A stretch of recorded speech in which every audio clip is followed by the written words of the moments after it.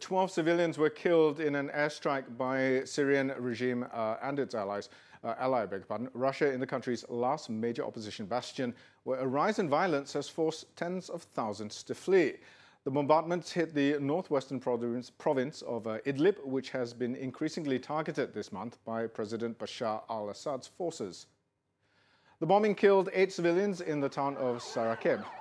Four others were killed in separate airstrikes in other towns in southern Idlib, and 36 others were wounded. The bombardment comes as violent clashes continued for a third straight day between regime loyalists and militants who dominate the province.